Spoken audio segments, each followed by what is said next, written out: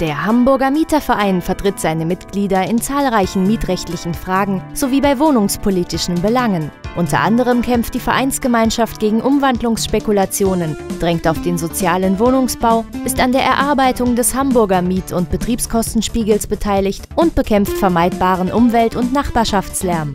Werden auch Sie Mitglied im Hamburger Mieterverein, der starken Hamburger Mietergemeinschaft.